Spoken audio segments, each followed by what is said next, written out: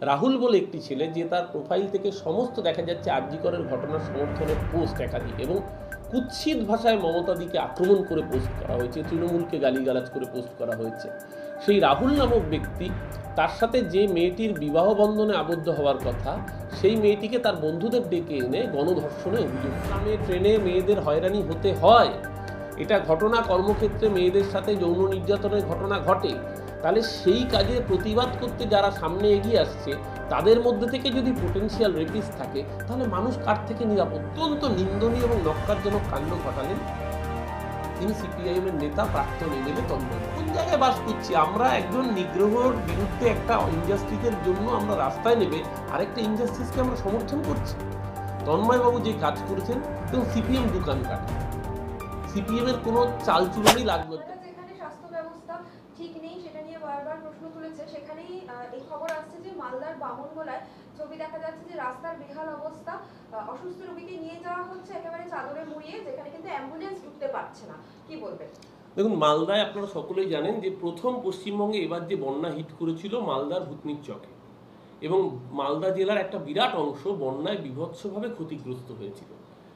আরজিকরের ঘটনার প্রেক্ষিতে খুব স্বাভাবিকভাবেই মিডিয়া অ্যাটেনশন সেইভাবে তখন বন্যা পায়নি। কিন্তু বন্যার ফলে যে রাস্তার পিচের ভয়ঙ্কর খারাপ অবস্থা হয়েছে, সেই রাস্তা রিপেয়ারিংয়ের কাজ শুরু হয়েছে। মাঝখানে আপনারা জানেন দুর্গাপুজো ছিল, সেই সময় কিছু এম্বার্গো থাকে। সেই রাস্তা রিপেয়ারিংয়ের কাজ চলছে। যে ঘটনা ঘটেছে, সেই রাস্তা রিপেয়ারিংটা প্রপারলি ছিল না। মালদা জেলা পরিষদ ইতিমধ্যেই সেই বিষয়ে অবগত। সেই রাস্তা রিপেয়ারিংয়ের জন্য বলা হয়েছে, যেহেতু সামনেই কালী পুজো, যুদ্ধকালীন তৎপরতায় যত দ্রুত সম্ভব সেই রাস্তা রিপেয়ারিংয়ের কাজ চলছে। সামগ্রিকভাবে আমরা চাই রাজ্যের বুকে যে উন্নয়ন চলছে, সেই উন্নয়নের কাজ বজায় থাকুক, কিন্তু একটা শ্রেণি তারা সবসময় চেষ্টা করছে, বিশেষ করে বিজেপি এবং সিপিএমের যৌথ চরিত্র, যে রাজ্যের ভালো জায়গাগুলোকে না ডিসপ্লে করে, রাজ্যের বুকে যদি কোথাও কোনো খারাপ ঘটনা ঘটে থাকে, নিশ্চয়ই সমালোচনা রাজনীতি বিরোধীরা করবেনই। সেটাকে সামনে রেখেই যে রাজনীতির খেলাটা আবর্তিত হচ্ছিল, বোধহয় আজকে মানুষের চোখের সামনে একটার পর একটা ঘটনায় আসল সত্যিগুলো সামনে চলে আসছে। যে মানুষটিকে দেখা গিয়েছিল রাত দখলে হাঁটতে এবং হচ্ছে যে নারী নিরাপত্তায় প্রতিবাদে নামতেই রাজ্য সরকারের বিরুদ্ধে, গতকাল তার নামে অভিযোগ উঠল যে মহিলা সাংবাদিককে শ্লীলতা হানি, সাসপেন্ড করল তার দল। দেখুন, এটা ঘটনাটা শুধু নিন্দাজনক বললে কম বলা হবে। হ্যাঁ তন্ময়দা অন্য রাজনীতির মানুষ হতে পারেন, আমরা রাজনৈতিক সমালোচনা তো করতামই। কিন্তু তন্ময়দার ঘটনাটা একটা আই ওপেনার কেন বলছি? দেখুন, এই তন্ময় ভট্টাচার্য, ইনি পোস্ট করেছিলেন উনিশে অক্টোবর। বাংলার মেয়েরা যেন থাকে নিরাপদ। এটা তন্ময় ভট্টাচার্যের অফিসিয়াল অ্যাকাউন্ট থেকে করা পোস্ট তো বাংলার মেয়েরা কার থেকে নিরাপদে থাকবে? তন্ময়বাবুদের থেকেই কি নিরাপদে থাকতে হবে? আমি জানি না, উনি ভবিষ্যৎবাণী হিসেবে করেছিলেন কিনা। তিরিশে আগস্ট, আরজিকরের ঘটনা ঘটেছিল নয়ই আগস্ট। তিরিশে আগস্ট তন্ময়বাবুর পোস্ট দর্শক হবেন না, নইলে ধর্ষক পার পেতে পারে। তন্ময়বাবুর করা পোস্ট অর্থাৎ এখানেই আপনাদের প্রশ্নটা উঠে যায় যে যারা রাত দখল করার কথা বলেছিলেন, এটা ঘটনা বাংলার মেয়েরা, বাংলার মায়েরা এই ঘটনায় গর্জে উঠেছিলেন কারণ আমাদেরই ঘরের একজন বোন, তার সাথে যে নারকীয় ধর্ষণ এবং খুনের ঘটনা ঘটেছিল, সেই ঘটনার প্রেক্ষিতে সমস্ত শুভবুদ্ধি সম্পন্ন মহিলারা রাস্তায় নামবেন, এটাই স্বাভাবিক। নাগরিক সমাজের আন্দোলনে কারুর কোনো দ্বিমত ছিল না। কলকাতা পুলিশ ঘটনাচক্রে চব্বিশ ঘণ্টার মধ্যে যে মূল অপরাধী তাকে যখন গ্রেপ্তার করেছিল সঞ্জয় রায়, তাকে অপরাধী হিসেবে মানতে না চেয়ে, ভিকটিম আমার পছন্দের নয়, তাই জন্য অন্য কেউ ভিকটিম, মূলত এই জায়গার ন্যারেটিভটা তৈরি করার জন্য গত দু মাস আড়াই মাস ধরে যে সমানে মিথ্যার পরপর অপপ্রচার হয়েছিল, তারপর দেখা গেল আটান্ন দিন পরে সিবিআই চার্জশিট দিয়ে পরিষ্কার বলে দিল যে ওই পার্টিকুলার সঞ্জয় রায় খুন এবং ধর্ষক। যদি আপনাদের মনে হয়ে থাকতো যে ও খুন বা ধর্ষণ করেনি, তাহলে আপনাদের আইনজীবী ইন্দিরা জয়সিং কেন সেদিনকে সুপ্রিম কোর্টে গিয়ে চার্জশিটের বিরোধিতা করলেন না? প্রশ্নটা এখানেই উঠছিল। কিন্তু যারা এই আন্দোলনকে সমর্থন করার কথা বলেছিলেন, আমরা এই বাংলার বুকে একটার পর একটা ইনসিডেন্ট দেখলাম। আপনাদের মনে থাকবে, বেলঘড়িয়ার একটি যুবক এই কাণ্ডের সময় যখন প্রতিবাদে এসেছিল, সে নিজে আরজিকরের ঘটনার প্রতিবাদী হিসেবে পরিচয় দেয়। উত্তর চব্বিশ পরগনারই একটি মেয়ে, সেও এই আন্দোলনকে সলিডারিটি জানাতে স্বাস্থ্য ভবনের সামনে ধর্নায় আসতো।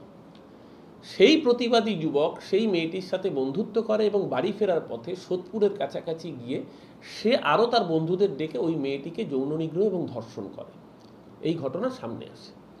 কিছুদিন আগে কৃষ্ণনগরের ঘটনা আপনাদের মনে আছে। রাহুল বলে একটি ছেলে যে তার প্রোফাইল থেকে সমস্ত দেখা যাচ্ছে আরজিকরের ঘটনার সমর্থনে পোস্ট একাধিক এবং কুৎসিত ভাষায় মমতাদিকে আক্রমণ করে পোস্ট করা হয়েছে, তৃণমূলকে গালিগালাজ করে পোস্ট করা হয়েছে। সেই রাহুল নামক ব্যক্তি তার সাথে যে মেয়েটির বিবাহ বন্ধনে আবদ্ধ হওয়ার কথা, সেই মেয়েটিকে তার বন্ধুদের ডেকে এনে গণধর্ষণে অভিযুক্ত হয়। এবং সেটাও কিন্তু এই আরজিকরের সমসাময়িক ঘটনায় এই আন্দোলনের অংশীদার থেকে তারা এই কাজগুলো করেছিলেন।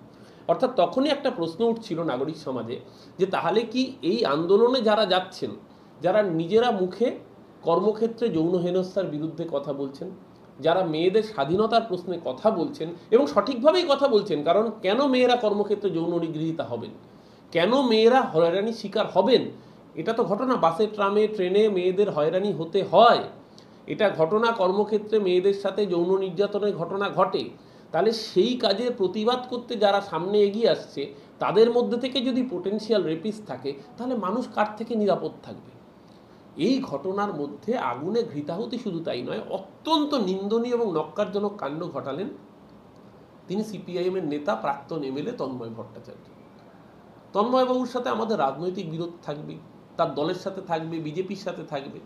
কিন্তু কি হয় জানেন তো, কিছু কিছু মানুষ তাদের একটা ফ্যান ফলোয়ার থাকে, তাদের একটা মতাদর্শের কথা বলা থাকে, তার জন্য বেশ কিছু মানুষ তাদের সমর্থন করে।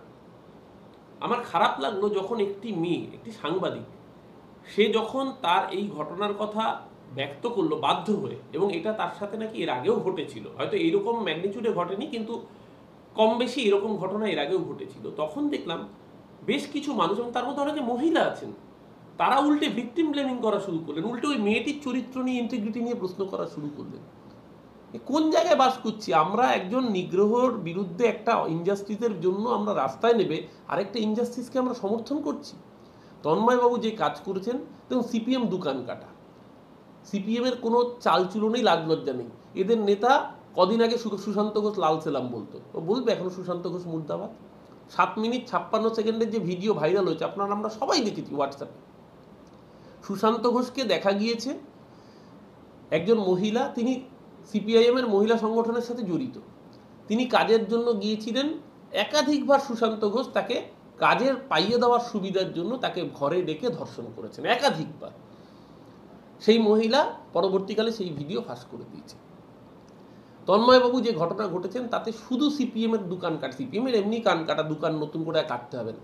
সামগ্রিকভাবে বাংলার যারা রাজনীতি করেন, সে যে দলেরই হোক না কেন, ধরুন আপনারাও সংবাদ মাধ্যমের প্রতিনিধি, আজকে আমি একটি দলের মুখপাত্র তৃণমূল কংগ্রেসের।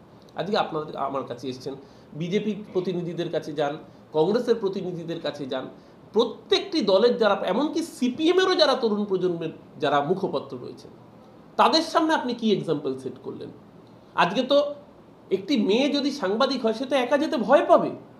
যে কোনো রাজনৈতিক দলের প্রতিনিধিদের কাছে। আবার একইভাবে যে কোনো রাজনৈতিক দলের মুখপাত্র সেই ইন্টারভিউ দিতে ভয় পাবে। যে এনভায়রনমেন্টটা আপনি নষ্ট করলেন, এই যে একটা মানে ফ্যান্সিটি ছিল, একটা সাংবাদিক এবং রাজনৈতিক নেতৃত্বের মধ্যে বা মুখপাত্রদের মধ্যে যে একটা সুস্থ, সুন্দর সম্পর্কের একটা পবিত্র জায়গা ছিল, সেই জায়গাটা এক কথায় নষ্ট যিনি করলেন, তিনি তন্ময় ভট্টাচার্য।